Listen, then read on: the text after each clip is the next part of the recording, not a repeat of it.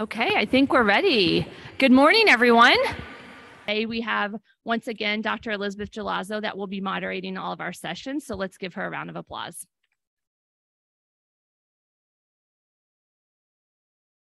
Good morning. Um, I am going to introduce this um, panel of amazing colleagues here um, who really don't need any introduction. But for some of the newer families who are in the room, um, I'll introduce everybody and then I'm going to turn it over to them. They're going to give us a um, presentation of um, common behavioral issues and um, anxiety um, and issues that can occur across the lifespan in Angelman syndrome. Um, and then we'll have time at the end to do open Q&A. Um, I don't even think they need my moderation today, but um, down the line here, we have Anjali Sadhwani, Anne Wheeler, Chris Keary, and Cesar Ochoa. Um, they are truly the experts in the community about behavior and anxiety. So um, I'm going to turn it over to you guys. I think you have clicker control right here.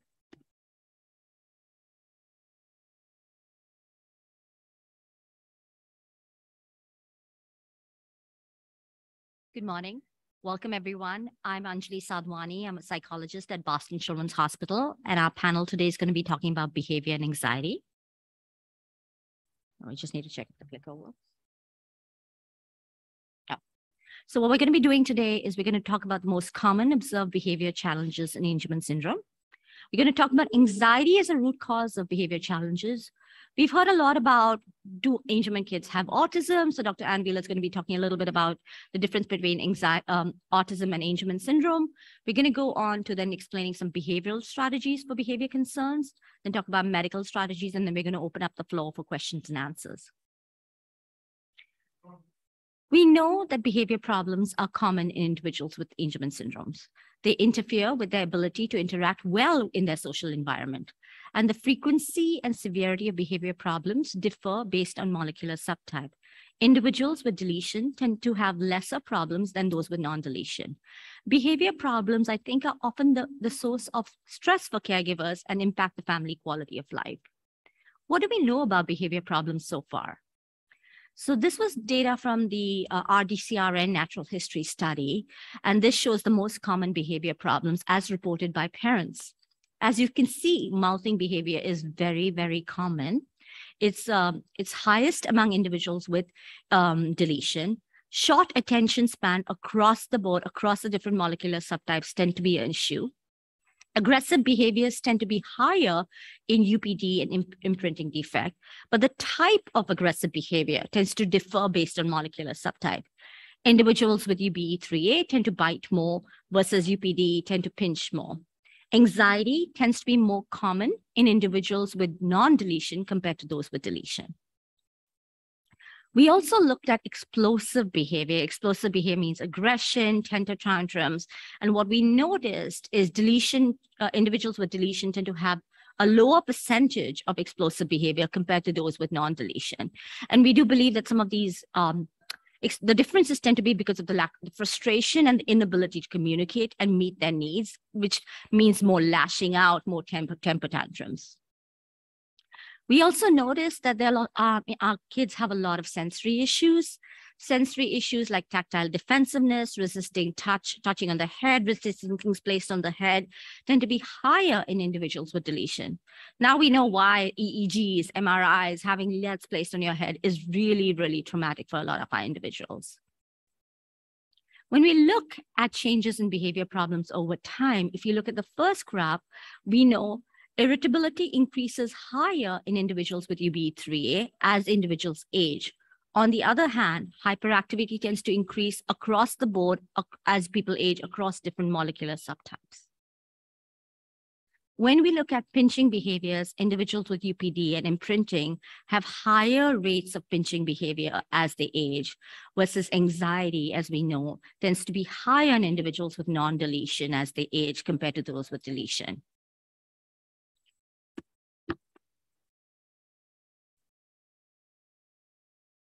Okay, thanks. Um, so so we we got this great data to describe the types of behaviors that are um, occurring primarily in uh, individuals with Angelman. And so we want to think about what might be some of the underlying causes for this. Um, and so let's see. I want to talk a little bit about anxiety because anxiety is actually in when you look at the clinical features of, of Angelman syndrome, um, anxiety is listed as one of the highly penetrant clinical features, um, which means that it occurs in the majority of individuals with the condition.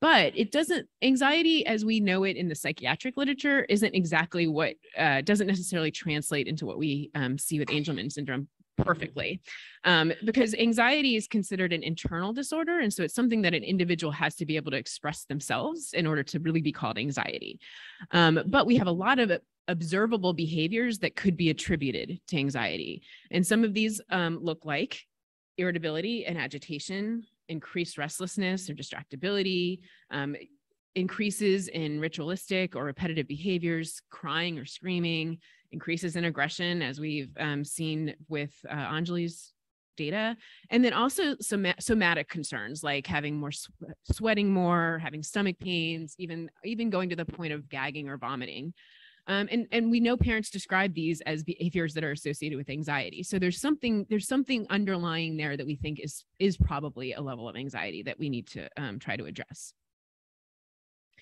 So when we think about possible sources for why an individual or with Angelman might feel anxious, and this is a slide uh, I want to give credit um, and thanks to one of our colleagues who was supposed to be up here with us, Jane Summers, um, who uh, not able to join us in person, and we weren't able to get her video in. So she shared some of her slides with us. So I want to make sure to give credit to her. So this is one of her slides, and she noted that um, there are several possible sources for why an individual with the Angelman might feel increased anxiety, which might lead to increased behaviors. So it in a lot of cases, and I'll talk a little bit more about this in a few minutes, um, we do see increased anxiety when separated from um, a preferred or a preferred caregiver, somebody who they feel really com- comfortable with and who they who helps them feel safe.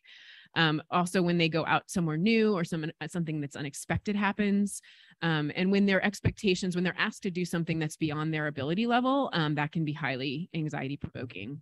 Um, also, when asked to do, when th- there's too many things going on at once, that can also cause problems with anxiety.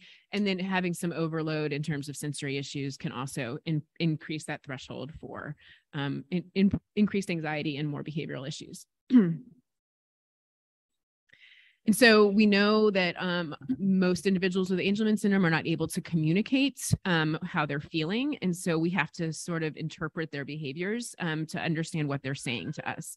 So when we do see these increased behaviors, some of the things that they may be saying are, I'm, I'm nervous about leaving my parents. Um, I don't know what to expect, and that makes me scared.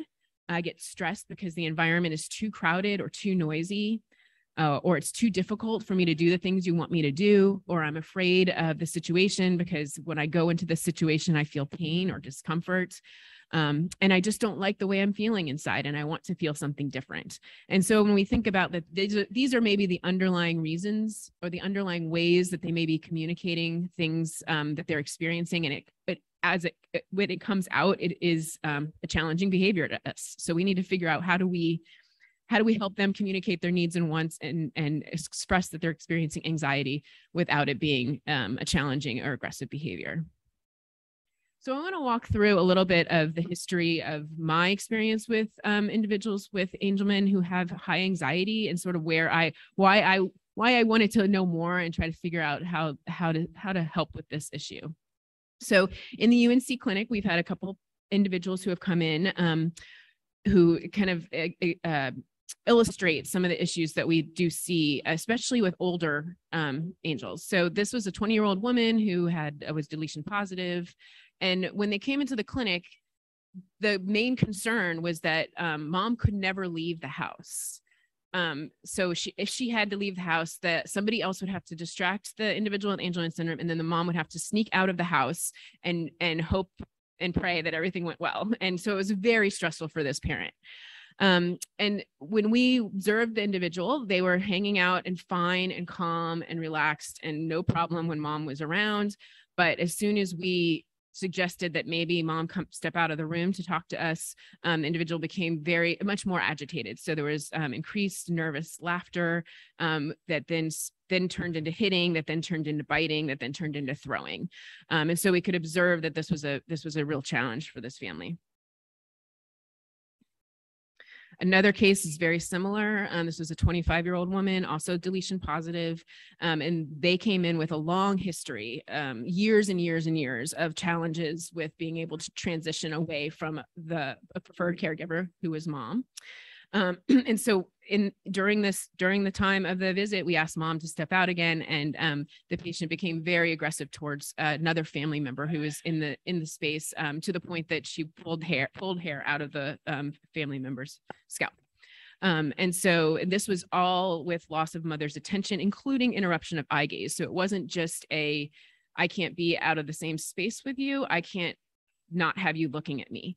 Um, and so that was also another um, significant challenge for this family.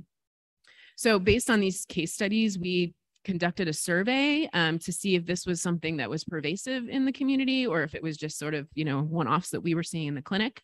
Um, and so we sent the survey out and we asked families to report on whether or not they had any anxiety concerns. So you can see that um, that we had a majority of individuals over 13 who said that they were concerned about anxiety. It was lesser so in the younger children. So you can see this increase, which is what we were seeing in the clinic, that this is more in the later adolescence and into adulthood um, type of behaviors that we see. So then we asked, well, does does your individual have a caregiver preference? Um, just a preference, which is you know not that that that's something we would expect to see that an individual might have a care have a preference for a caregiver, um, and this also seemed to peak in adolescence. Um, and then we said, well, what happens if something if if somebody tries to come between you as the care preferred caregiver and the individual with Angelman, um, and we see loss, uh, agitate, just increased agitation, um, both in terms of again losing losing um, eye contact, losing uh, being separated in any way, um, and again this was peaking in adolescence. And then we also wanted to know, do caregivers, are the caregivers afraid themselves to leave their individual with Angelman syndrome? And there was fewer, um, a lower percentage of that, and this was higher in the younger children, which all makes sense and also um, was somewhat relieving, although we can still see that there are 30% of adults, uh, parents of adults who are, who are really afraid to leave their individual with Angelman syndrome because of the agitation the person experiences. Um, and with uh, similar to what um, Anjali presented, we do see higher concerns um, across the board and anxiety for non-deletion subtypes. So um, I want to now just shift for a second to talk about autism because I think this is another um, highly comorbid condition when you look on paper for this. Um, so I want to talk a little bit about about my stance on this, which is that in most individuals with Angelman, it is not a true autism diagnosis that they may receive. Although autism, I think, helps having that diagnosis helps get services. So we know that, but just to think about this um, in terms of what actually um, may be happening. So with autism, this is a behavioral diagnosis. So it's based on what we observe the individual to be doing and, and um, uh, in, in everyday interactions with people. Um, and it's defined by deficits in social communication. And these can be deficits, both verbal and nonverbal um, deficits. Um, they have restricted and repetitive behaviors. Um, and sometimes individuals with autism can have comorbid seizures. Um, most of the time, if they have any um, head circumference challenges, it's macrocephaly, which means they have larger heads. Um, you can see autism symptoms early in development. And usually, the way we think about it is that it's not better explained by a severe intellectual disability, which in our case with Angelman syndrome would automatically sort of make you question if it's autism.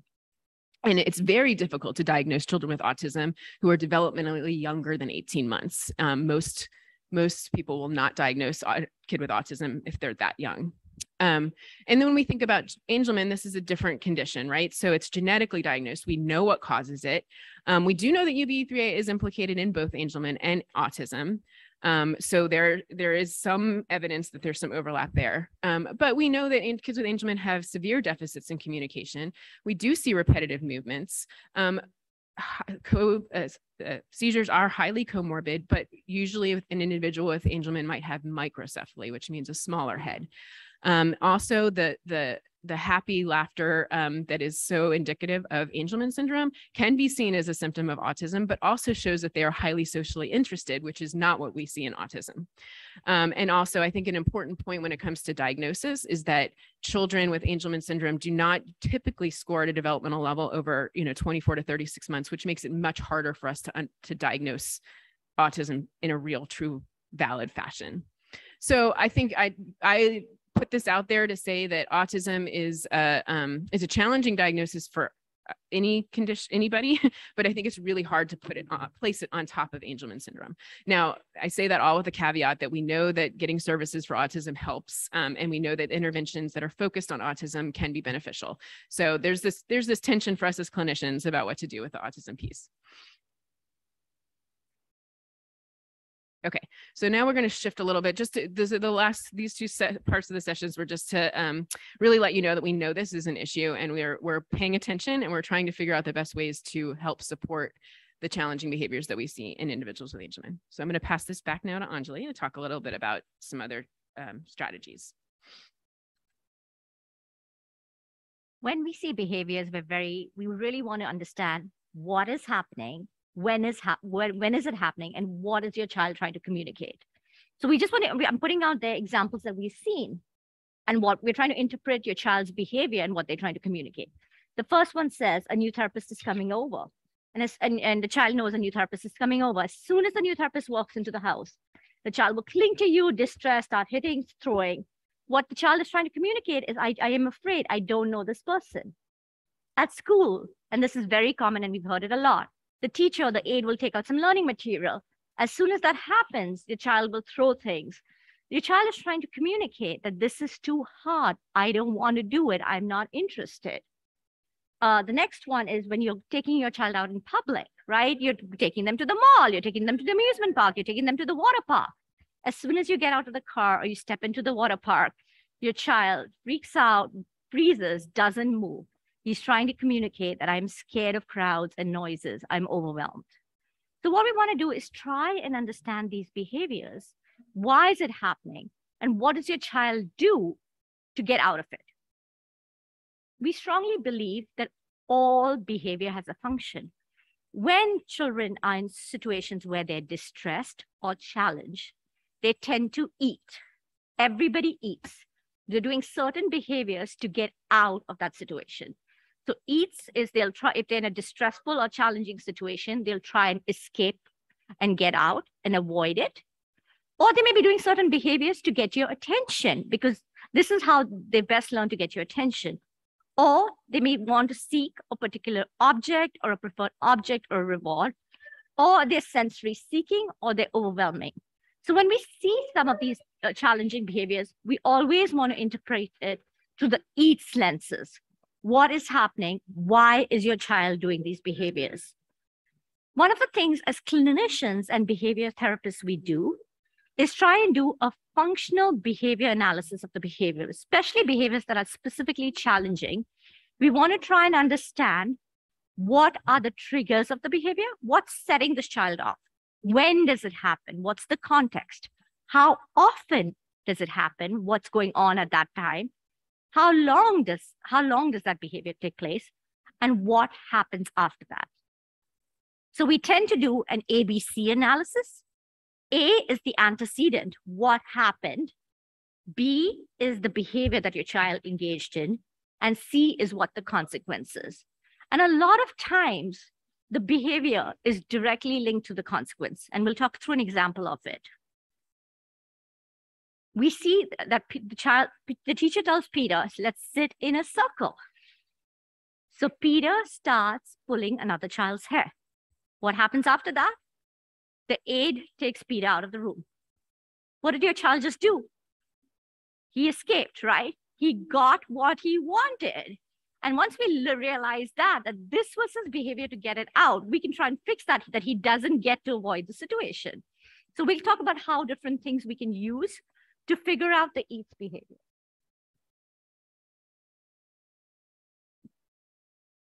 Oh, sorry, I forgot to say this. Um, this was data from the natural history study, and we were looking at why do some of these behaviors occur? And we specifically asked parents, why do these behaviors occur? A majority of um, parents said that this that a lot of these challenges behaviors occur because the child just wants to communicate with you. So he's throwing to get your attention, or or he's he's trying to communicate his needs. It's also attention seeking, and then it's for avoidance and for sensory seeking. So these are the different purposes behaviors occur.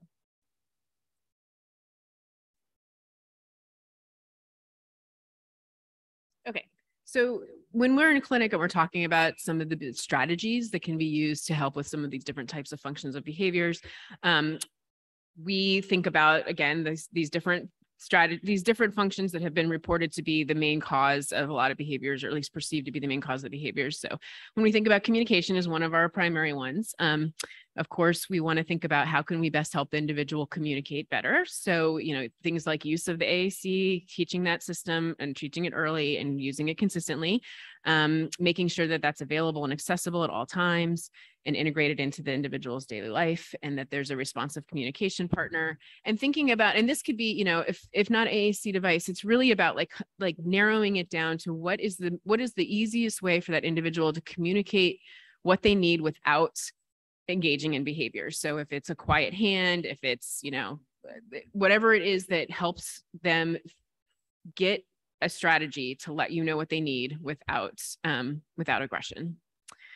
If it's a sensory issue, you can work with an OT to identify what kind of sensory input might be the um, might be use useful to help calm and reduce the behaviors um, thinking about what might be happening with sensory aversion. So, you know, we see some kids who really respond well by having um, the ears covered that so they don't have as much noise coming in. So that if that's if loud noises are a, are a problem, that's a strategy that can be very helpful. Um, and then there are things like when there's sensory seeking. So we know a lot of individuals with Angelman syndrome have oral motor seeking, um, sensory seeking, and that that can lead to biting when aggressive, when feeling agitated. So making sure that there are other things that are appropriate for them to to use to seek to seek out that sensory input if the main function of a behavior is getting attention, it's important to ignore and re- ignore and redirect the undesirable behavior and not directly engage engage with it because then that increases. Then you've given the attention to the task to the behavior that they um, have exhibited. So this is a very, very hard thing to do, but it is really important to practice it. So when it's an engage and it's a challenging behavior, it is important to say, I'm not going to engage in this. I'm going to ignore it. When you do something that I want you to do, when you change the way you're handling this, you get all the attention that you want. Um, so you direct them to a desired behavior and then they get the attention. And then you reinforce that this is the way to get my attention if the function is escape, um, it's important to allow that escape, but only under the um, under the context in which you it's a, a appropriate escape. So providing more breaks um, can be a really important thing, and sort of an if then like do this, then we get a break, um, and providing choice whenever possible can really be helpful. Um, and then when the behavior is appropriate, then you can provide the escape that they're looking for. So these are just simple, simplistic um, list of strategies that I don't want to um, make any mistake. We know that these are hard to implement, but these are the types of things that we know can be successful. And so we really try to encourage and support families in trying to um, use these strategies. There's also some environmental modifications that can be really, really helpful. Um, most individuals will respond well when you have a consistent and structured routine um, use of visual cues can be very helpful for some individuals. So things like visual schedules or use of timers, visual timers especially can be really helpful. Um, making sure that you're working in the duration um, that is uh, that the individual is capable of working in. So if you have a longer period of time, you're going to, and then they're not they don't have the endurance for that, you're going to see more behaviors. Where if you can chunk it into smaller intervals, um, that can sometimes be much more helpful making sure that there are reinforcers and preferred items and that attention when they are doing something that you want them to be doing so that that becomes the the the go-to to get the attention or um, to get out of whatever it is they're doing. Uh, some some families and teachers find if then using if then boards and if then strategies to be really helpful. So if you do xyz or if you stop xyz then we do abc um, and then always being you know planful and mindful of as transitions come up, as you're meeting new people, as you're going into high, more highly sensory um, stimulating environments, you're going to need to be planning for that and thinking about what kinds of things might be helpful to reduce that anxiety and um, reduce the, the uh, likelihood that there may be some challenging behaviors. And you know, th- we often rec- uh, recommend that if you have the ability and you have the resources to do so, that having a behavioral specialist who can come in and actually follow along with your routines and see where the behaviors are coming up, and actually do a real um, co- comprehensive functional behavioral analysis, like Anjali had shown you, can really be incredibly beneficial for helping figure out what the core what the core um, uh, antecedents and consequences are that are driving the behaviors and the continuing behaviors. And sometimes it's just very hard to see because you're in a you're in a family dynamic and you're interacting with your individual because you're their caregiver or their family member and trying to think through all of these behavioral strategies on top of it can be really challenging. So having a behavioral specialist who can come in and kind of give you that direct guidelines can be really helpful. And then, of course, there's medication. So I'm going to we're going to turn it over to our wonderful physicians here who can talk about medication strategies.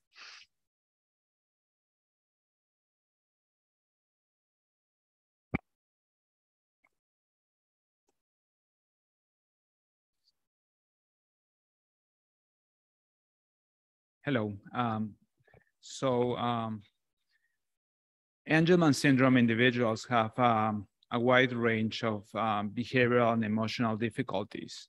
Some um, some angels have an easygoing temperament and are often happy and, and don't have a lot of challenges, but others do. Um, sometimes they can be very sensitive to sensory uh, stimuli in the environment. A lot of them are very hyperactive uh, and impulsive. Um, some have a really hard time going out uh, and get very stressed out uh, in different situations to the point that can interfere with their ability to participate in community activities, um, activities with the family. And, and all families want to integrate their, their um, angels as much as possible. So anxiety can get on the way of, you know, of doing things, basic things, uh, there can be disruptive behaviors. Some uh, have very aggressive behaviors towards others, towards self, have big outbursts in different situations. So sometimes, um, you know, the situation is so difficult that families may want to consider the possibility of uh, medication to help address the behavioral and emotional difficulties, which is, is, is a hard decision. As a parent, I can try to project myself and I could think that this is a very tough decision. But um, the bottom line is to have um, your children, your angels, to be able to integrate and to have like a, um, um, a really the opportunity to take advantage of therapies, learning opportunities, and and at that time, uh, medication for behavior and anxiety might be an option. So um, here we have a summary of the um, the situations where um, you may want to consider um, pharmacological therapy for behavior and emotions. When uh, usually the first line of intervention is trying behavioral therapy, like the one that was discussed before. Uh, if there's no improvement with behavioral therapy, you may want to consider this option. When there's concern about safety, uh, particularly with the, the younger siblings, um, when uh, it's impossible for the family to go out and to participate in community activities, um, when you know you cannot find a uh, after care program that can um, provide care to to your um, child with Angelman syndrome, and when safety is an issue, when safety for others and for themselves is an issue. Um, pharmacotherapy can be really effective. It's a little scary because you know talking about behavioral uh, and emotional medication sounds like a, a big step up. But um, sometimes, you know, ideally you need to find the right uh, clinician, somebody that you can trust. And uh, that is uh, usually a psychiatrist, but can also be a neurologist or a developmental behavioral pediatrician. So here we have a case. This is Alice. Uh, it's a 19-year-old woman with Angelman via uniparental disomy uh, increasingly upset with separation from parent, agitation and aggressive behaviors with limit setting, especially around food, and uh, community outings are increasingly, increasingly unpredictable and dangerous. So um, the first thing we try to do is think about, is there something medical that could make um, this individual with Angelman syndrome more irritable, more um, uh, frustrated, more easily frustrated.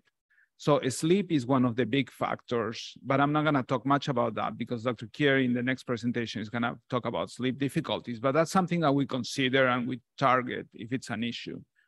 Constipation. Constipation is a very common problem in angels. And uh, I've learned from my experience in pediatrics, in developmental behavioral pediatrics, that you know constipation can have a big impact, causing um, irritability, can cause a lot of irritability, and can decrease appetite, uh, can make um, you know um, eh, children and adolescents and adults easily frustrated. So sometimes parents overlook that the constipation, but that's an important factor that needs to be addressed reflux, gastroesophageal reflux, is not uncommon in individuals with Angelman syndrome and can make them irritable. Particularly, you should suspect gastroesophageal reflux when the irritability, when the outbursts are associated with meals, after meals.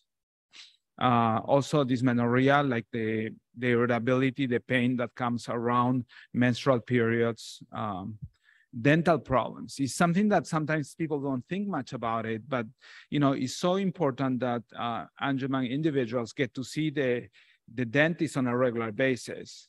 Uh, and sometimes, you know, it's overlooked because it's so hard to take them to the dentist and have them open in the mouth. Uh, but it's, it's really important to search in the community for dentists that uh, have expertise working with uh, individuals with developmental differences. And some of the angels may need some uh, anesthesia. Some of them use like the gas, nitric uh, gas, and that, that can allow like exams and also treatment for dental difficulties. Uh, and we should, we should always think about that when there's a lot of irritability. Uh, scoliosis can cause pain, and pain can cause irritability, and that should not be overlooked and seizures. Seizures are so frequent in, in Angelman syndrome patients, and sometimes having uh, a lot of seizures that might or might not be recognized, or sometimes the medications that are used to treat the seizures can cause more irritability. So we, uh, as clinicians, we need to analyze all these factors before uh, and also um, trying the behavioral therapy that was described before, before thinking about um, doing um, psychopharmacological medication. So um, the first thing we do is we try to do an evaluation for medical contributors. Um, individuals with Angelman syndrome have a lot of uh, sensory processing differences. They can be very sensitive to certain stimuli in the environment, like sounds, uh, heat, um, clothes, um, that can make them very irritable and uh, it's, it's very helpful to have um, an occupational therapy. Occupational therapists are the clinicians that have expertise in analyzing and helping address these sensory processing differences. So um, we discussed about the function, the, the functions of behavior were discussed. So uh, being able to communicate can alleviate some of these um, challenges. So trying to, we, we try to encourage uh, families to use augmentative communication strategies because the more that um, Angelman syndrome individuals can communicate their wants, their needs, or the things that they don't like, uh, can be more effective to addressing behavioral challenges. Also, um, you know, a lot of uh, individuals with Angelman syndrome have a difficult time with unpredictability with new situations. So if there's a schedule um, that they can understand and they can follow, that can be really helpful to, to prevent um, behavioral challenges. Um, I'm not gonna talk more about behavioral therapy. It was discussed extensively, but that's something that we think about uh, when we are treating um, individuals with Angelman syndrome with anxiety or disruptive behaviors. Um, psychological therapy is an option.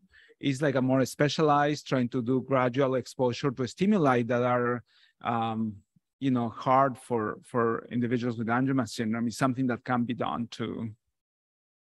Um, so I'm going to talk a little bit about uh, the medications that we use, and um, you know, there are different. There's um, hyperactivity, impulsivity uh, that Dr. Keary is going to talk about. There's anxiety, and there's emotional regulation and aggressive behaviors. So I'm going to talk a lot about uh, pharmacological interventions on um, anxiety and emo um, emotional regulation problems. So in in in general practice, the first line of intervention for anxiety is the serotonin reuptake inhibitors like sertraline or Zoloft, fluoxetine or Prozac, escitalopram or uh, Lexapro. Um, so those are the medications that are used in general practice. But something that has been found is that uh, a lot of the Angelman syndrome patients are sensitive to those medications and can get irritable on that we can still use those medications, but we gotta go very gradually with the small doses and build up uh, very gradually because they can be very sensitive and can get very irritable on them, causing the, the opposite effect that we are aiming for. So something that has um, the, the Angelman community has figured out is that buspirone, which for regular patients is more like a second or third line medication for anxiety, um, seems to work well for, not for all, but for many uh, patients with Angelman syndrome. So that's a medication that we often consider first when we are dealing with a lot of anxiety. So this is uh, also increases the, the serotonin levels, particularly at the receptor um, 1 um, A level, and, and that way seems to help with, with anxiety. And we start, like we do with many medications, uh, unlike patients that don't have Angelman syndrome, always with small doses, and we build up the levels gradually until we find the, um, the sweet spot where you see a good effect and uh, uh, minimal side effects.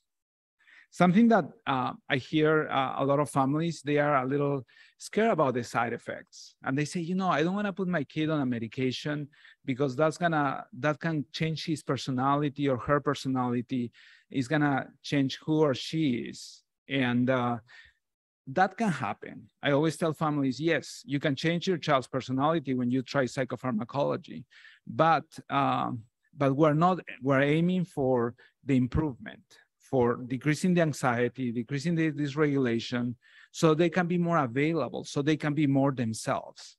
But on the way, we can cause side effects and we can make them different.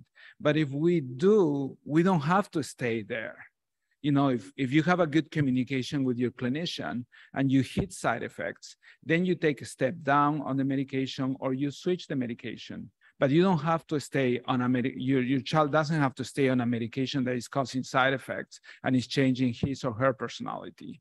I think that's an important concept to, to have.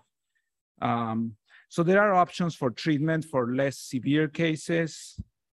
For less severe cases, we use the, you know, we can use the uh, SSRIs, the ones that I mentioned before. Uh, there's a, a, study from the Vanderbilt group that um, showed that mirtazapine, which is uh, an antidepressant medication that has effects on serotonin, seems to work really well for Angelman syndrome patients. Uh, benzodiazepines seem to help. These are anti-seizure medications that also have an anti-anxiety effect that can be used also to help with anxiety. And there's propranolol. Propranolol is a medication that can be used for high blood pressure, for um, some heart rhythm problems that is technically is not an anxiety medication, but has an, a calming um, effect and can relieve anxiety and can be very effective for, for some of the Angelman syndrome patients. So then, then we go to the more severe cases when there's aggression, there's a lot of dysregulation. Um, the, sometimes the Angelman syndrome patients hit others and themselves or bite. Uh, and in those cases, you know, life can be very difficult for families and, and for the siblings. And when they go to school, they cannot really be um, you know they cannot integrate in the school. They cannot take advantage of the services. And then we use like um, um, medications like uh, antipsychotic medications which sound very like like a hard like a hard medication. Uh, but those medications when they are well used can be very helpful can be very helpful in, in, in bringing down this this intensity this, this regulation this aggression but on the other hand they also can cause side effects so we, we are very careful when we prescribe them and we try to monitor the side effects. One of the, the big side effects of the these atypical antipsychotics like risperidone, Abilify, or quetiapine are that um, they increase appetite.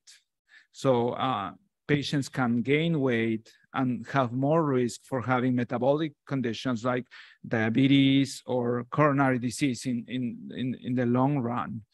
But um, we try to monitor weight, try to adjust the dose. We sometimes try to use other medications that can shield them from these side effects, like um, Metformin is a medication that is used for diabetes, and sometimes is used along with these medications to decrease appetite and also for to decrease the chance of developing diabetes or um, or these metabolic problems. Um, the other, the other um, line, but sometimes they don't work well or they cause too many side effects. So in those cases, we we sometimes look at other options for for uh, emotional dysregulation.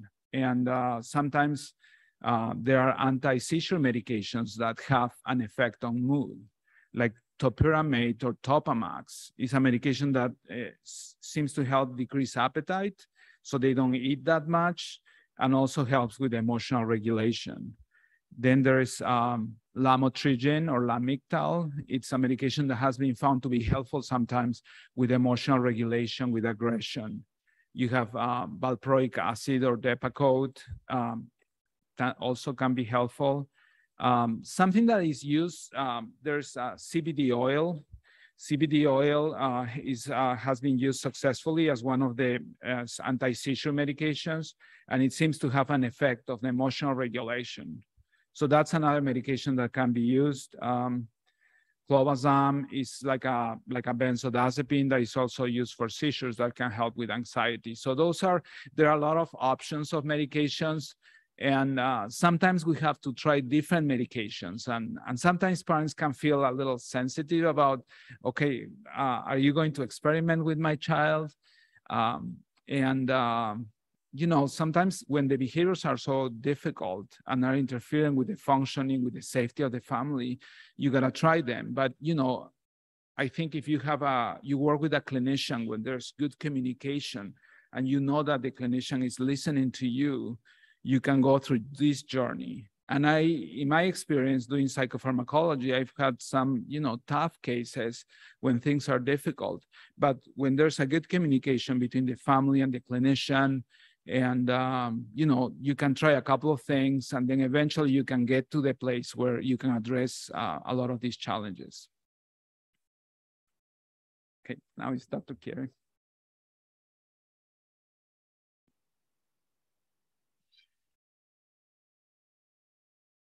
Okay, I'm going to try and take us home here within times. We have plenty of time for questions.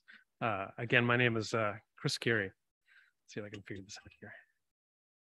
Got it. Okay. I'm going to review two cases and in the same format that Dr. Ochoa followed, um, talk a little bit about treatments that can be helpful from a medication standpoint. We've had some great content already talking about behavioral approaches and assessment. So my focus will be a large on medications, although it should all be ideally put together um, and not just medicines. So Sam is a seven-year-old boy with, uh, with Angelman. His mechanism of inheritance for Angelman is a UBE3A mutation which as we know uh, from Dr. Sadhwani presentation, can be associated with perhaps higher levels of behavioral concerns, and then perhaps on average, some better motor function. And Sam's motor function is really good. Uh, he is fully ambulatory. He walks well. He runs really well. Uh, he's able to make his way up and down stairs using a, a, railing. He's made some wonderful motor gains. But the other side of the coin is that he is in movement 100% of the time. And uh, Sam just does not stop. Um, and that is increasingly creating challenges for Sam at school and with community outings. He has a constant need to move, explore. While parents want to encourage this exploration drive for him to sort of explore his world, he kind of takes a lot of things apart inadvertently. He's got kind of a curiosity that can be a little destructive, um, making it very hard to go on any community outings. You kind of take apart like department store sections and things like that. So it's really hard to go out into the community and give Sam a chance to experience new things. And Sam really struggles with holding his attention on any academic demand or therapy for more than really a couple seconds. He is persistently distracted by his love for peers, his peers at school, uh, which is again a strength, but also a double-edged sword because he it it makes it really hard for him to uh, focus in any sort of integrated academic environment. And it's like all of the work needs to be completely separate from his peers who he loves. So that has made that sort of constant distractibility and need to constantly move during therapies has really slowed down his progress. So these are some of the main concerns the family has in uh, in in presenting. So again, separate from the things we can think about as academic supports, things like, for instance, having smaller class size for the most important therapies, for instance, having constant movement breaks, for adults who may have a day program, having constant physical activity integrated into their day program or daytime routine. Separate from all these supports, let's talk about sort of medication related efforts. Um, so I'm going to first talk about, we're essentially going to be talking about treatments for this high energy, this hyperactivity, this severe distractibility. And let's talk first about two medications called guanfacine and clonidine, both of which have immediate release and uh, extended release versions for people who can swallow capsules. Not most of my kids and adults with Angelman uh, patients, but for some people who can swallow uh, capsules, there's long acting versions as well. The way these medicines work is think about the fight or flight response.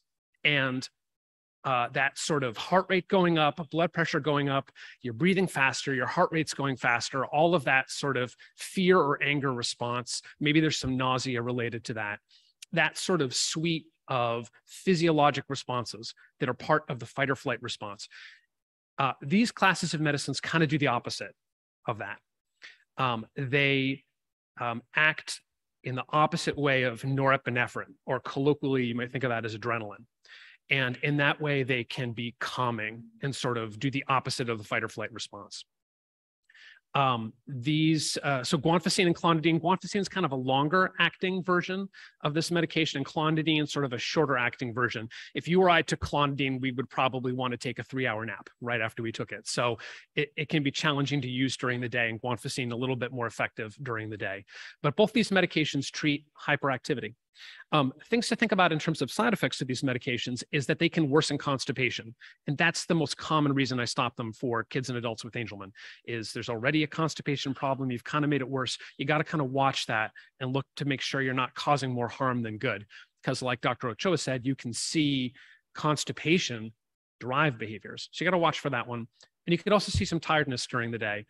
I know when I'm tired, I'm more irritable. So in situations where I think this medicine has made people more irritable, it's probably because I've made them inadvertently tired. So those are the most common side effects to watch for with this class of medications. But it's a very sensible place to start to try and help someone with hyperactivity.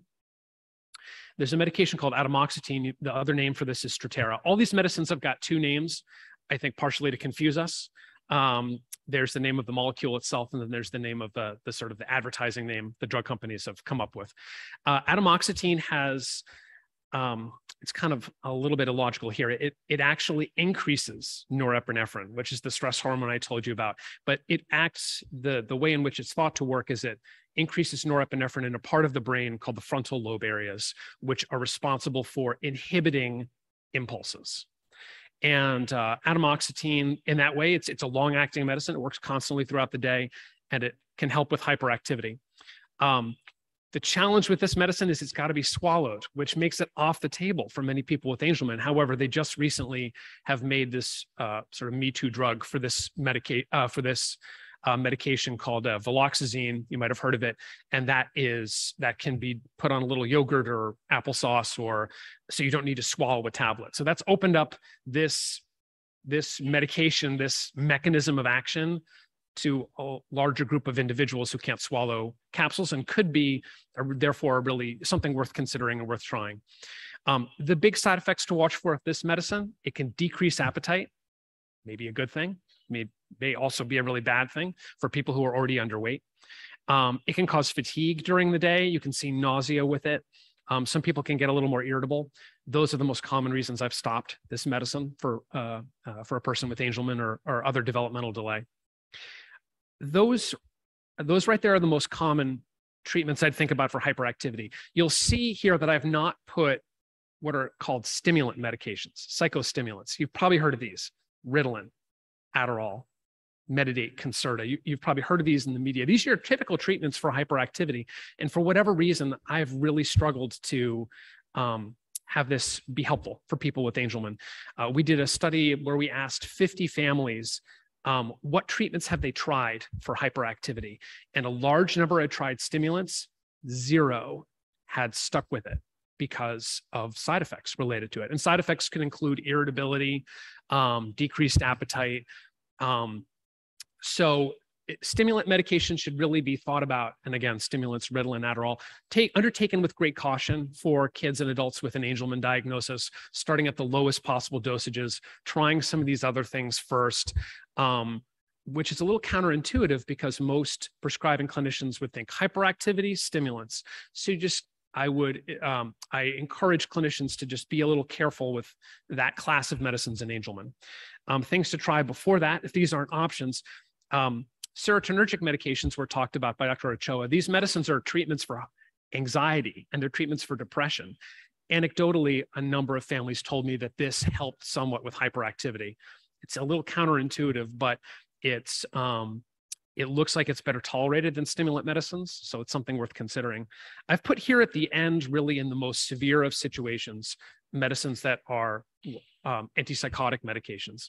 Um, these are situations to think about where there's a lot of irritability, which is to say, quick progress to anger, aggression, self injury, where that's a really persistent, severe, comorbid problem with hyperactivity. Antipsychotic medicines, I think of these medicines not as treating psychosis per se, but acting as mood stabilizers, helping with the quickness of mood change, um, and they can help with hyperactivity as well. Because of weight gain and other side effects, they really should be considered kind of last before other things because appetite can increase. You can see tremors increase or muscle spasms, which are already, you know, tremors and myoclonus already a concern for people with Angelman. But I could think of five or six people where this medication really made a major difference for them in terms of decreasing aggression. But again, severe cases only. All right. I'm not too over with time. I am. Okay. So in the last couple minutes here, I'm just going to talk about the last case, Jaden. Uh, Jaden's 14. His mechanism of inheritance for Angelman is a maternal deletion.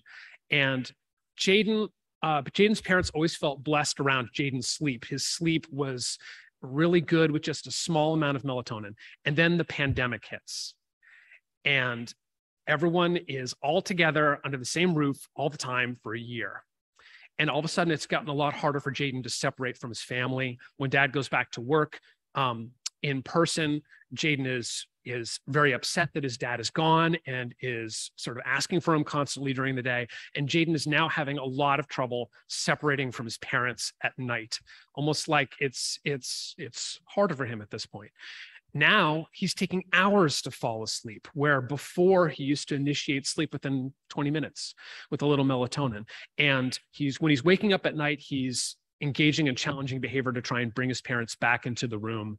And he could be up for hours in the middle of the night if they try to wait him out. So all of a sudden, sleep is a major concern for Jaden. Um, so uh, obviously, before we think about medications, um, the family is thinking about here in this way how do we avoid um, going into the room whenever Jaden is upset to not have us there to help him with getting more comfortable with that separation. This is a really common problem for kids and adults with Angelman. And medications can sometimes play, play a role in helping increase the sleep drive that kids and adults with Angelman have that appears to be, for whatever reason, decreased for people with Angelman, less of a sleep drive. It's very common for a lot of people with Angelman to have less need for sleep. They can go for four hours while everyone else in the family is exhausted the next day. Um, a really common story. So medications increase the sleep drive. They increase the, the, the need for sleep, the tiredness, and that combined with a behavioral intervention to try and avoid reinforcing the behavior by going in a lot, that can help increase the sleep drive. So like for instance if there's a family that where their loved one is waking up in the middle of the night and they're up for three hours, four hours. A medication that increases the sleep drive may have that now be just 30 minutes or something like that because there's more of a desire to fall back asleep. So medications can play a major role here. Melatonin is the one medication that we're talking about today that's actually been formally studied in a double-blind placebo-controlled trial in Angelman and found to be effective. It doesn't work for some individuals, but it's a great place to start if you haven't tried anything. And um, really, everybody should have a trial of it that has a major problem with sleep where a behavioral approach didn't help. Um, and that study also found excellent tolerability, no, no real concerns of side effects as compared to placebo. Then two medicines I want to tell you about. In that study, I told you about a 50 families where we asked them what medications did you take. Clonidine and trazodone were the ones that stood out that families had the most success with stuck with the longest and had the least side effects. So if you're looking for something that appears to be more safe for kids and adults with Angelman, these two medicines stand out. Uh, clonidine is really effective for that initial separation. It helps with sleep initiation. Like I said, it, you know, it really increases the sleep drive, makes you more tired, but it's short acting, lasts four hours maybe. So it's not a great choice for middle of the night waking up. Trazodone is a much better choice for middle of the night waking up because it lasts eight hours long. Um, it, I've had a lot of families where that three hour in the middle of the night wake up went to half an hour, 20 minutes, or or disappeared entirely. Um, and those are kind of three places to, to definitely start. There's a medicine called mirtazapine, also called Remeron, that can be very effective for sleep. It increases appetite, which may put it farther down in the list. Unless someone is low weight, then it's a great choice. Uh, it's actually an antidepressant medication, but just very effective as a sleep medicine um, and is worth considering. It was also studied in a uh, sort of a case series in Angelman and found to be well tolerated. So, uh, and then I've put here last another antipsychotic medicine. Again, we're putting these class of medicines at the end because they increase appetite so much. But uh, this particular medicine is less likely to cause movement side effects, tremor, muscle spasms among the antipsychotic medicines. And uh, it may help a little bit with aggression or self injury during the day. So, for that reason, it can be considered for people who've got those kind of challenges in addition to sleep. All right, how'd I do on time? It's 10 o'clock. So we've left, left ourselves 30 minutes for, for questions uh, to make sure that uh, we, uh, we give plenty of time and Liz is going to help facilitate. Thank you all for your attention.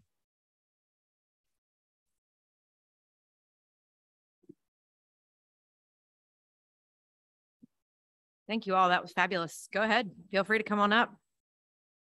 That was awesome. um, a couple of questions. Was that clonidine for the hyperactivity? Was that clonidine plus um guanfacine or one or the other? Really? Or both? Is this working? Yep. How about now? People can still hear me? Great.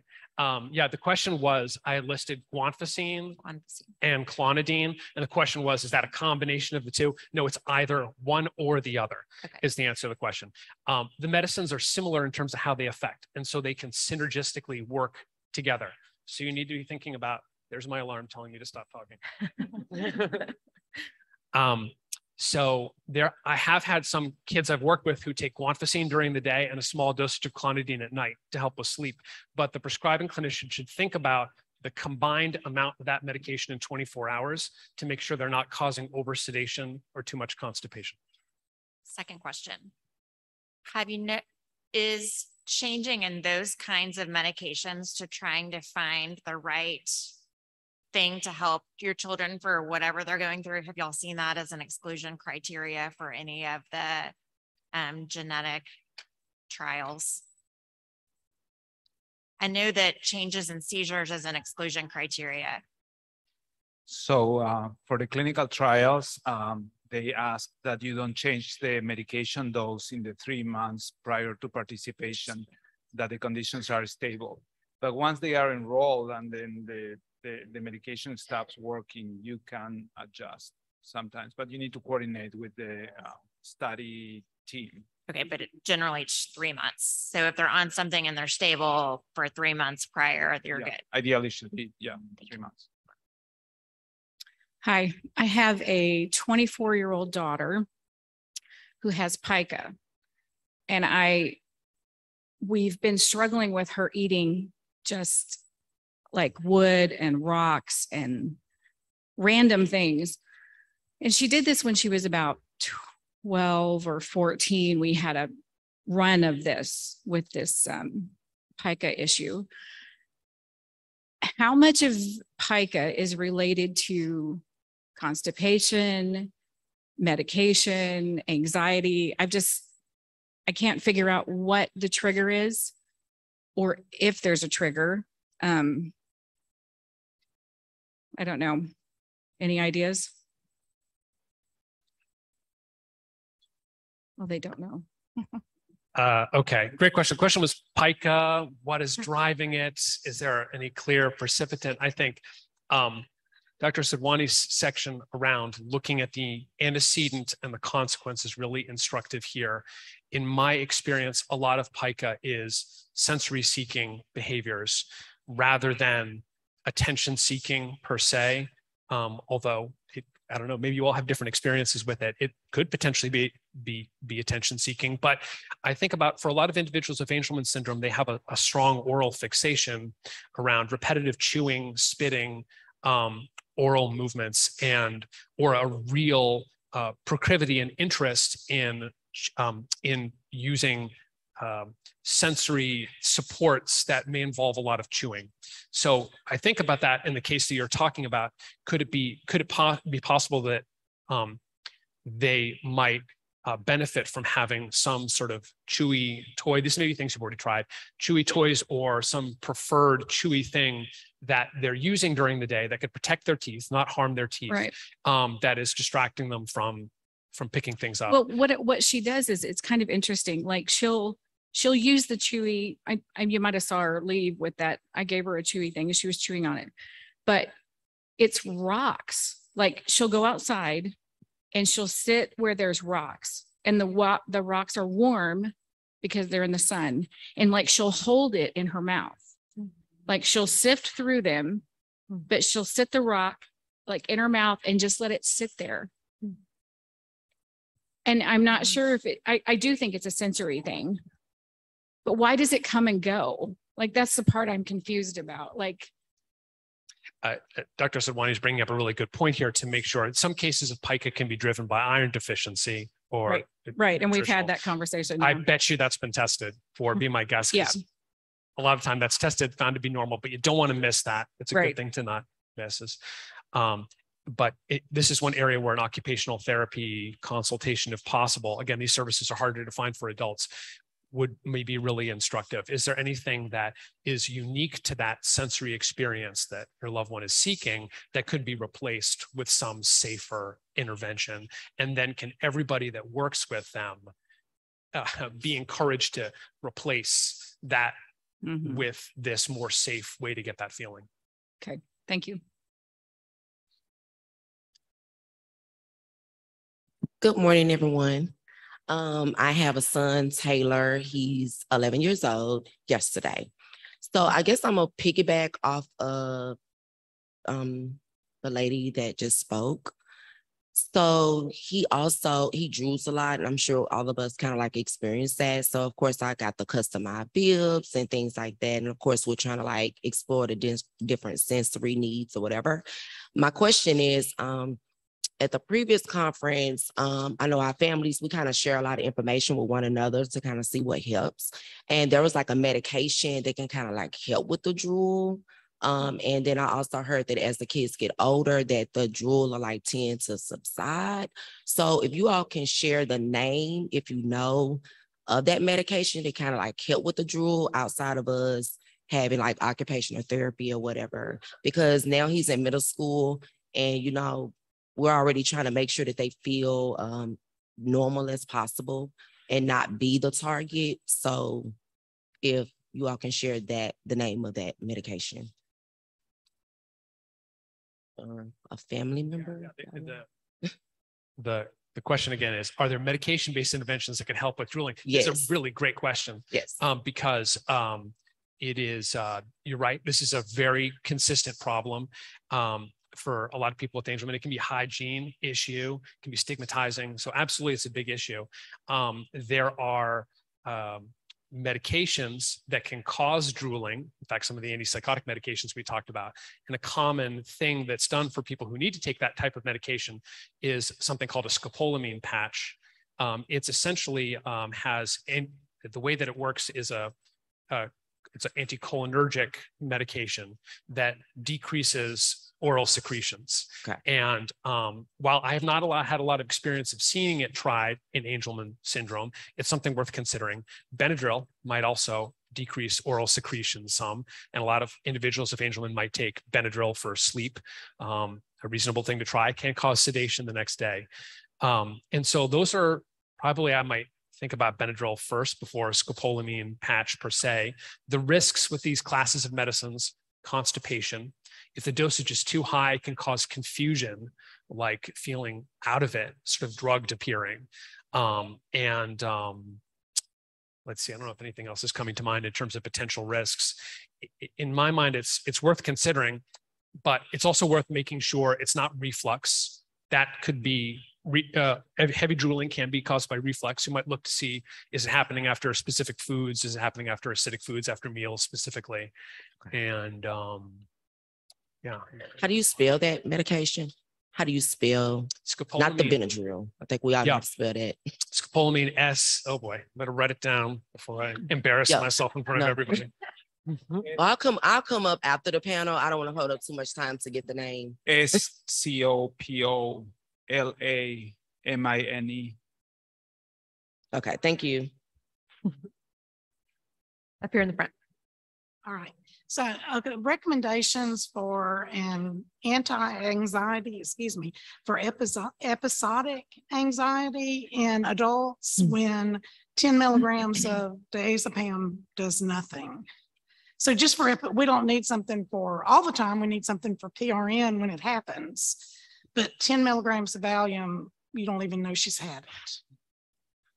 So uh, that that's a common scenario. There are some um, Angelman syndrome individuals that have a hard time, like when they are gonna have a flight, and and that can be a very challenging situation. So uh, yeah, uh, benzodiazepines seem to be the, the best choice for for that because they are short acting and they they can be very effective. Something that we always encourage is to try them before the trip.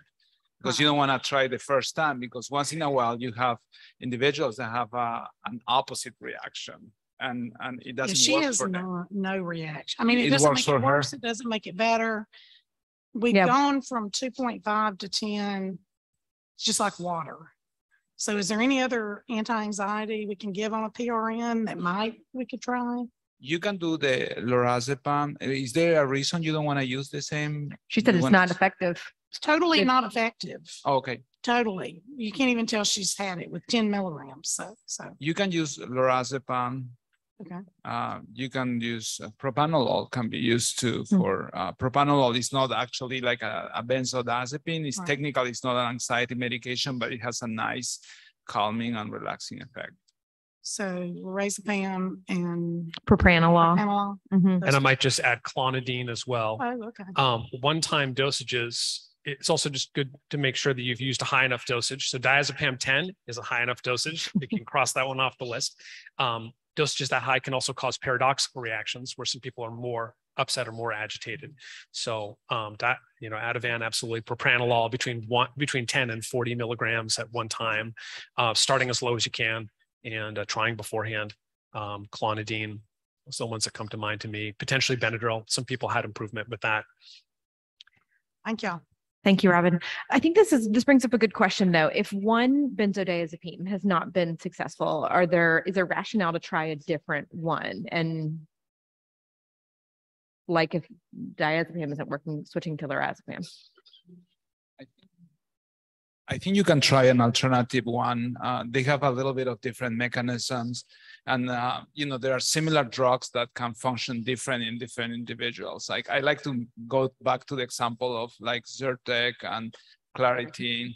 Like some people do great on Claritin and others do well on Zyrtec. And they're kind of similar mechanisms, but not quite the same. Great.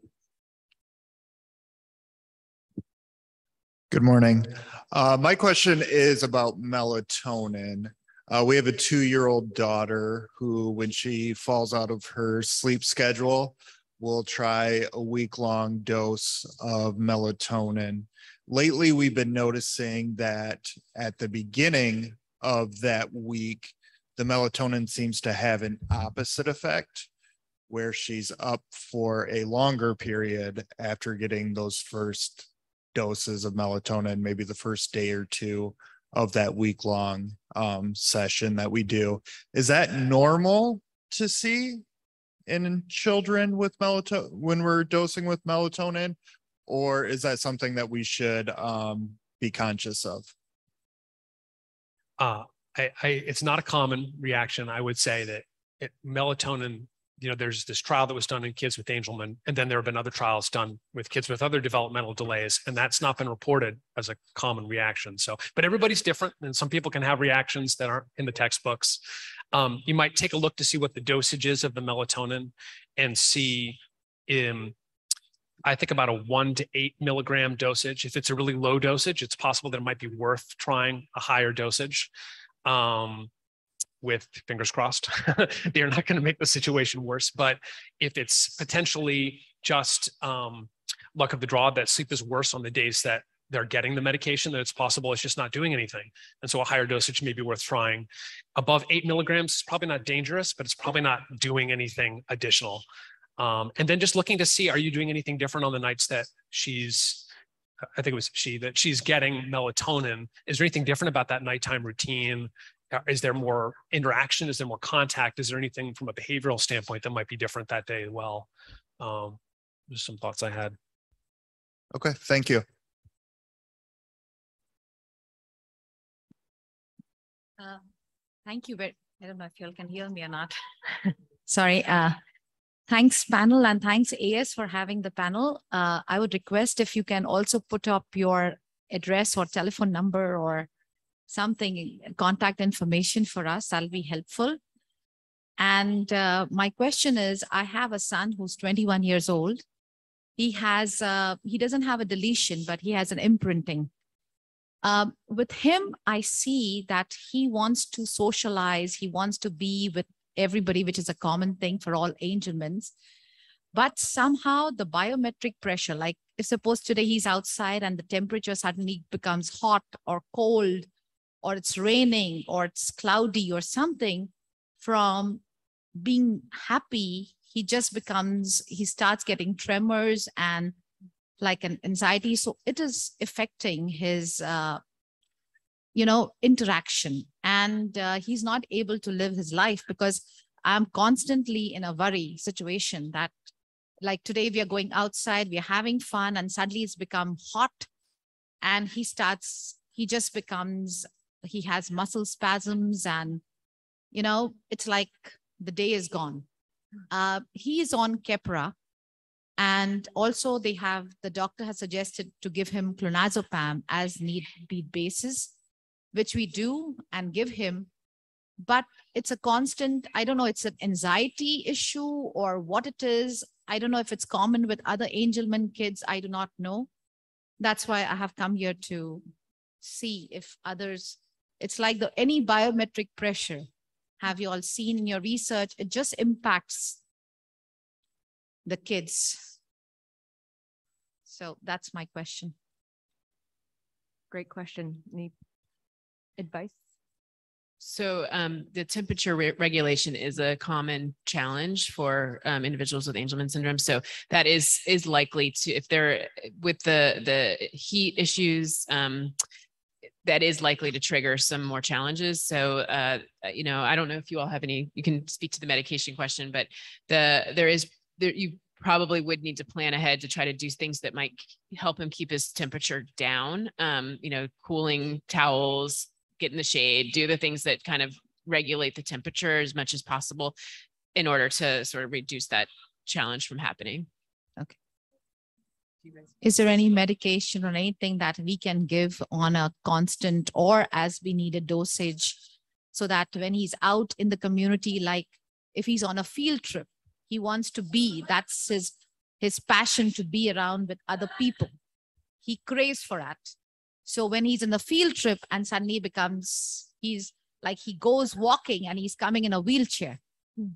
And that's like, oh, what happened? Say, oh, there was like suddenly he started trembling and he's in the wheelchair.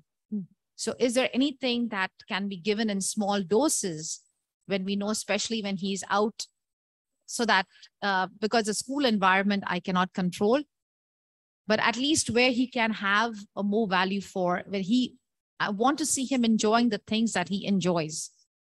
And when he is not able to because of his condition, I do not know what to do. So So do you think he, um, when he, sounds like he wants to be out yes, and, but, um, something happens when he's out, is that? That Yes, he yes. gets too excited? it can Or be a lot of, get uh, he is on Keppra. I give him like a daily dose of Keppra, like a, a maintenance medication. Uh, but yes, he when he's outside, uh, sometimes it happens. It just, uh, I think it suddenly becomes very hot, or it's like it's a cloudy weather outside, or I don't know, simple pressures and atmosphere I've noted that brings him completely non-functional. I, I wonder if it's uh, hyperexcitability. Some some Angelman syndrome um, patients get very excited, and that can be a little overwhelming to them, or and or is anxiety or dysregulation. Um, there are different things that can be tried to um, to help address that, um, like a more like situational, like um, you know, propranolol is an option, but that's something that you may want to discuss with your with your clinician uh, about something to help address these uh, bursts of hyperexcitability and anxiety that seem to be interfering with his ability to enjoy activities, right? Yes. So I should uh, talk to my neurologist or something and get um, for these uh, burst of anxiety medications. I, I, I, get that impression. It's, it's hard to, you know, give a, a hard recommendation without getting like a full history, but sounds like, uh, you know, something that is short acting could be a starting point, like propranolol that we were talking, that helps alleviate calm and uh, Okay. like and can be used on a, like a episode basis, like as Okay. opposed to you know a medicine that he takes all the time. So we can use these medications as need be basis and give it to the school or tell them uh, if if you see it triggering to. So does it uh, suppress those? There are some medications that can be used in that Okay, that that way. thank you. Yeah, and then also just thinking about making sure that the school is providing a calm, um, cool environment for social interaction. And that may be more of an accommodation kind of thing that the school needs to put into even potentially an IEP plan to ensure that he has the opportunity for social interaction outside of a hot environment, um, because this is part of Angelman. Um, thank you for your question. Thank you. We have a question up here in the front. Hi, my son is two and a half year old and um, he's just started exhibiting aggressive behaviors. Uh, pulling hair is common, but now hitting has started and um, a lot of other aggressive behaviors have started. And um, I, uh, looking at those ABCs, it makes sense that he wants to communicate and all of those things. But my question is, um, should we discipline him as we do a typical child? Uh, timeouts? Do they work with him or do they not? Should I even go down that route or what would work? Uh, can you all hear me? Yes. Oh, so typically for a two-year-old, you know, I wouldn't encourage timeouts. What I specifically, what we're trying, what he's doing is with his hitting and biting, he wants your attention, right? So what I would do is when he's good, I would say, you know, give him attention. Or, or if he's saying, you know, if he's hitting you, I would say gentle hands, right? Nice job. Use your gentle hands. So using words like that, so you can redirect the hitting to something more nice. Oh, you want to throw it? Here, let's put it nicely in the box. So instead of giving timeouts, I would redirect that. And fo- you will use words like gentle hands, nice touch, and focus attention on those things. Nice job. You did a nice job with nice hands. Got it. Um, but what, I mean, this takes, uh, this obviously is going to be a lot of practice on our side and him understanding. But when he's just at that point where there is no consoling him, we haven't looked at medication options yet, but uh, um, I just don't know like how to get him to like co-regulate with us or self-regulate his behavior in terms of uh, all this aggression or just take him out of the situation at this point is what we do. Yeah, at that point, you know, I mean, I don't, I don't think timeouts are effective for kids. You know, the timeout, the concept is really hard. So I think if it gets to a point where he's distressed, taking out him out of the situation is really helpful. I also, uh, I think distraction works really well with our kids, right? So, you know, sometimes I have bubbles in a bag or a squishy ball, just things that you can bring out and you know you know when the child is getting to that point so you don't want him to get to the point. Right. You want to catch it before you get to the point. I think distraction works really really well. You know no hitting let's oh let's play with the bubbles you know or you, oh, you can't play with this toy. Let's look at this thing what mama has. So using those kinds of things would really help and worst case to worst i would take him out of the situation. And I'll just I'll just add that when he engages with whatever you distract him with, that's when he gets all of the attention and the praise and reinforcement. And so when he's able to switch gears from getting upset and agitated to anything else, he gets all the attention and praise. Um, okay, and that'll that'll help reinforce that. Okay, thank you. You're welcome. Thank you for your question. This brings up an, a, another question in my mind. So you talked a lot about working with behavioral specialists to help, you know, identify triggers, antecedents, rewards, all these things that are going into all these behaviors. Who are these behavioral specialists that you're talking about? Is it occupational therapists? Is it ABA therapists? Is it psychologists, psychiatrists? Who, who are you talking about? And how do we access that, particularly um, when getting a dual diagnosis of autism is not necessarily something that's commonly done, but might be necessary to access some of these services? I think the easiest way is getting an ABA therapist. You know, ABA is not only for learning, it can be helpful in working on some of these behaviors. It can be helpful in toileting because they, you know, when you when your parents are in this situation, it's really hard to see what's going on. So you have someone objective coming in. I also think some of the clinics have behavior therapists. You can uh, access some of uh, you know, some of the specialist clinics, neurodevelopment clinics have psychologists who are trained in this. So working with someone on a regular basis would be really helpful. I also think, I know this is really hard, but consistency is the key. You know, you can try it twice and say, you give up. Our kids are very stubborn. They're testing the limits. So you want, you know, it's a battle of wits. Who gives in first? And they know that you will give in. So I think really, I always tell parents try it for two weeks before you give up. Yeah, and just just to add, so AB, ABA or a person who has behavioral a behavioral an, an analyst specialist degree certification, and those folks um, tend to be you can you can go to a clinic and see if there are behavioral specialists that are affiliated with a clinic, or if that clinic can help you get connected to behavioral specialists in your area. The other avenue potentially would be to go through your school system, um, especially if the behaviors are happening in the school setting, then that could be um, something that can be written into your IEP. And I uh, don't want to be um, too naive in this. I know that this is hard to access, and they're they're few and far between in terms of the behavioral specialists that are out there. Um, but I think the only way to fix that is to keep saying this is what we need, and to keep yelling from the mountains that we need more of this. Um, and so, as clinicians, we're trying to do that, and as family members, you, you know, you kind of have to be squeaky wheels. But this, you know, keep keep pushing for it because your kids deserve it. Absolutely. I would just piggybacking off of that idea, you know, um, there's of course this large evidence base that um, people with an autism diagnosis benefit from ABA. There is just as large a research basis that people with an intellectual disability diagnosis get better with ABA. And everybody, despite the fact that people can be underestimated in terms of their intellectual capabilities with Angelman, everybody with Angelman syndrome has an intellectual disability diagnosis. So insurance companies are denying ABA just based on the fact that we know the cause of intellectual disability, that it's Angelman related.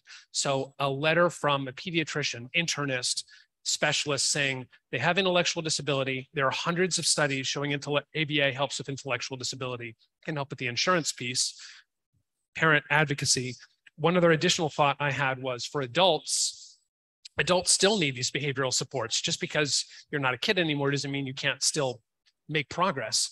And so for adults, one direction to go for the ABA therapists would be the state organization that funds day programs, group homes, have, pays for behavioral specialists to consult to day programs and group homes. In some cases, the those organizations um, have been willing to pay for a behavioral consultant uh, to an individual family.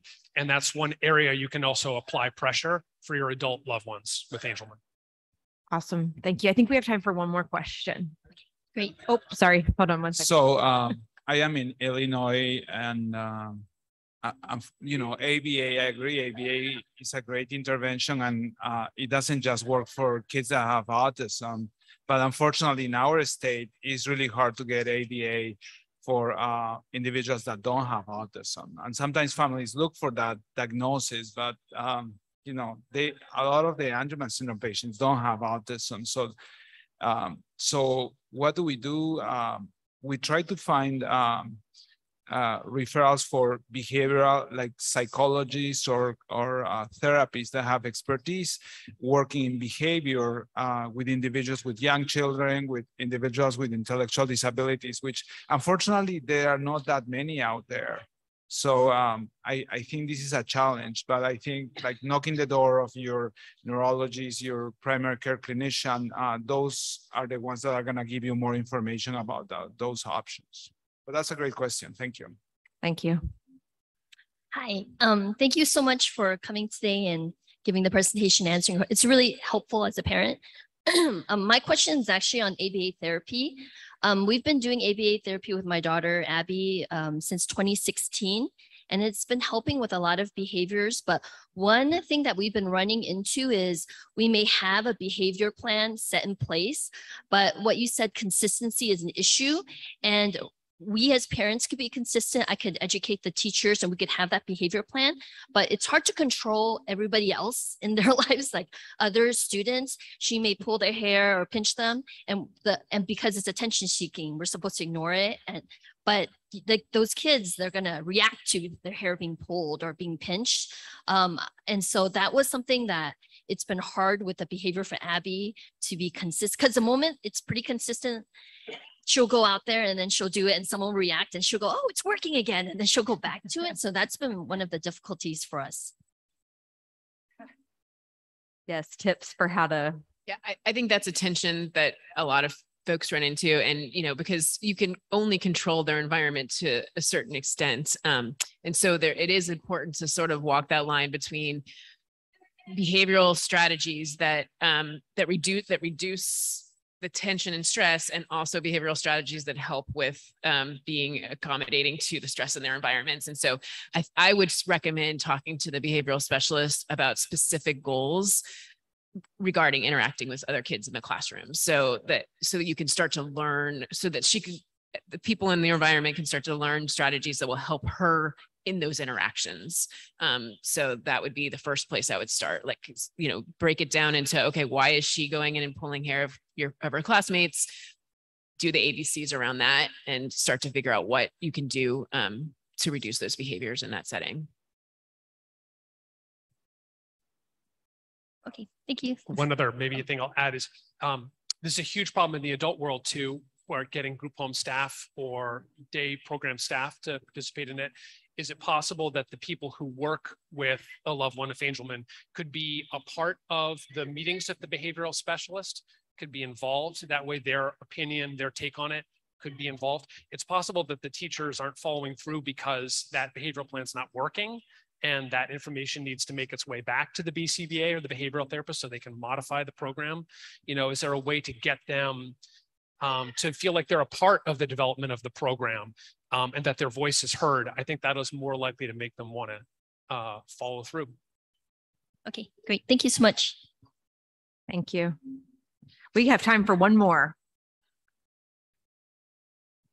My daughter's 38 and she developed a habit years ago of grinding her teeth and maybe it's sensory, I don't know. We have tried um, redirecting her by uh, clicking and we'll start.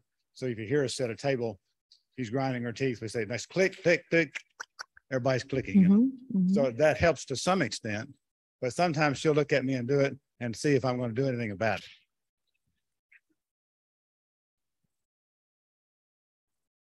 I missed the last thing that you said that people Well, laughed at. sometimes she'll look at me and she'll grind her teeth and look at me like I'm what are you going to do about this? Yeah, yeah. Testing, She had still the little testing those attitude. boundaries. uh, I, I'm sure you all have heard a lot about the teeth grinding thing, and it makes me think. Come back to the question that somebody had about pica: Is there something that can replace the idea of clicking? I hadn't heard that before, but it's a nice idea in so much as you're doing something else that you can't do at the same time as your teeth grind, Mhm. and then you reinforce that. Um, with a lot of sensory seeking behavior, that is a behavioral intervention that can help, you know, something that you can't do at the same time as the sensory seeking behavior that might otherwise replace the action. Clicking has helped some, but it sounds like not ideal.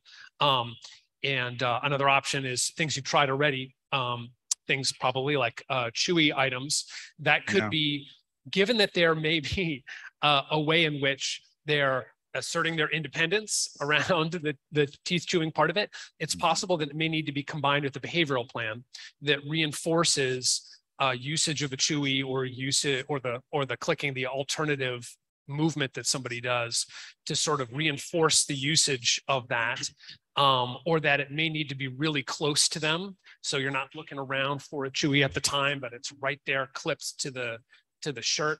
Um, so it's as easy as just giving it to them right there in the moment um, We give her uh, something to chew on sometimes too, and that helps, but then she'll take it out and she'll grind. Yeah, yeah, yeah, yeah. It may, it may need to, I wonder if a behavioral clinician could introduce the usage of a timer where if they Hmm. use it for, if you keep using the Chewy for one minute, way to go. There's a big reward that's coming up with that. You extend the length of time little by little by little. Um, I feel as if a lot of sensory seeking behavior like chewing is very habit driven. So you can hmm. get out of the habit like you can get into the habit. So you may not need to institute a behavioral program for longer than a couple weeks hmm. to extinguish that behavior and break some of that habit. So combining sensory intervention with a behavioral reward system, you might just need to do that for a little while. Maybe something worth considering.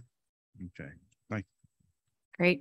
Thank you all for the really fabulous questions. Thank you to our panelists for a fabulous, fantastic presentation.